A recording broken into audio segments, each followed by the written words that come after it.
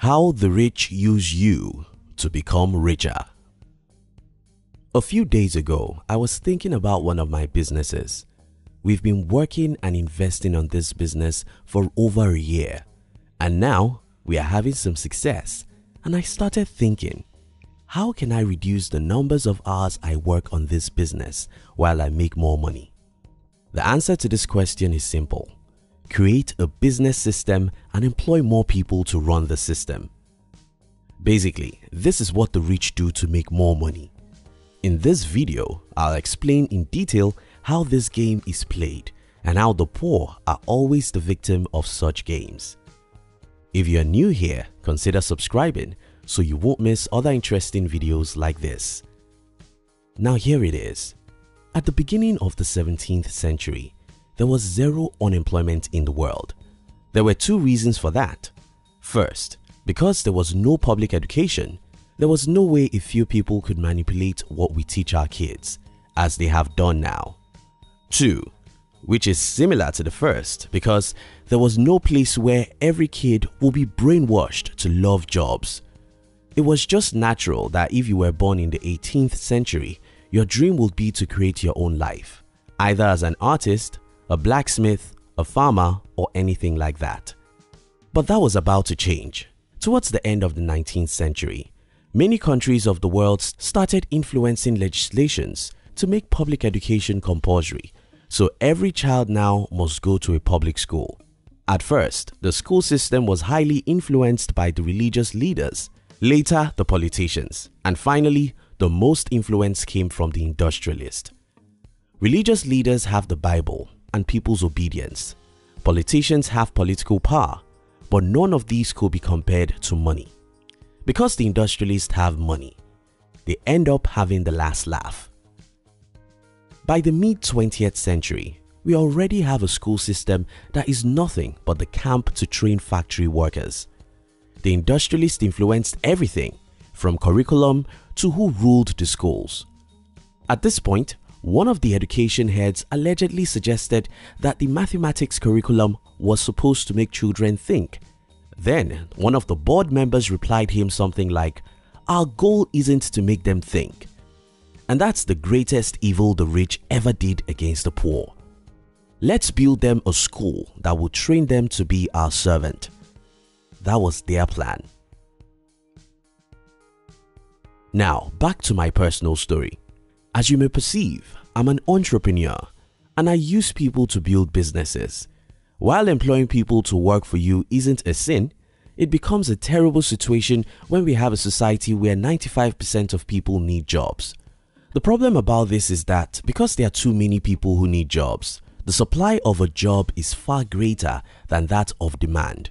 And as a result, the stupid entrepreneurs like me have too many people begging them for jobs and that eventually leads to the employers becoming kings who hires and fires at will or even underpay a lot of people. This is evil and it was not by accident. It was well planned long before any one of us was born. My advice for you. So, if you agree with me that what I'm saying is the truth, how then can you escape this trap? The solution is simple, but not many people will do it. Give yourself education. I don't care which schools you attend. I can tell you authoritatively that what you've got in a public school isn't an education. It's brainwashing at its best. Because those who laid the foundation of those schools never did it to educate you, they did it to enslave you. Lillian Smith said, Education is a private matter between the person and the world of knowledge and experience and has little to do with school or college. Your education is a private matter between you and the world of experience. It doesn't have anything to do with a school. So, what are the components of a real education? First, you must know who you are. The most unfortunate thing about schools, next to the fact that you were trained to be a slave, is the fact that every child is taught everything at the same time and pace and we expect every one of them to like everything we want to force into their throats because we assume that they are the same humans. Unfortunately, the opposite is the truth. Every human is different, And for anyone to actually function probably among us, he or she doesn't only have to know that everyone is different, you must know what makes you different. Socrates said, Know thyself. The first education is for you to know yourself. Know who you are, what your strengths are, what your weaknesses are, what you do easily even though others find them difficult. You have to know how your brain works, what your temperaments are, what kind of intelligence do you have much of? Are you a naturalist, nature smart, musical, sound smart, logical, mathematical, number or reasoning smart, existential, life smart, interpersonal, people smart, kinesthetic, body smart, or linguistic, word smart. It's the combination of who you are that will determine what you will have passion for. Take for instance, if you have interpersonal intelligence, then you might do well in sales or in business. If you have linguistic intelligence, you might be a great public speaker, actor, or a comedian. If you have musical intelligence, there's no point trying to have A in math. If you have logical mathematical intelligence, being an innovator or a scientist may be the best thing for you. You get the point here. You must sit down and analyze your strengths and weaknesses. It's only after this understanding that you can decide what path you'll drive your life to. The second thing to do is to think like a king. Believe me, you were made to be a king. You can create your own life the exact way you want it. Don't be deceived that you need a job for 35 years. Except you love working and you love jobs, you don't have to be a slave to others all your life.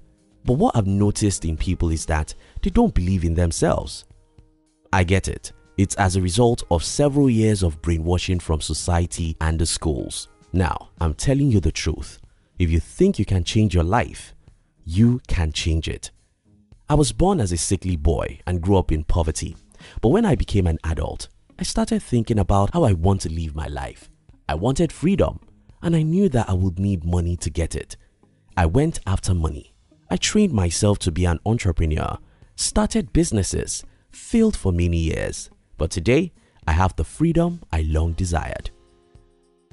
Though the rich have worked hard to make everyone else their slaves, you don't necessarily have to be their slave for 35 years.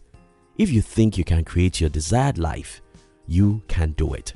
It won't be easy, but it's possible. In conclusion, the rich get richer because they have worked hard to influence the kinds of education you and I get. Because we've got an education that deceives us to be employees, we end up working all our life for the rich. This in turn makes the rich richer while we become poorer. You can deliver yourself from this bondage. You can create your own desired life if you think you can. Thank you so much for watching our videos. Are you between the ages of 18 and 40? Then we invite you to join our new channel which was specially created to share with you inspiration and life's lessons to succeed in life. We call it Under 40 TV.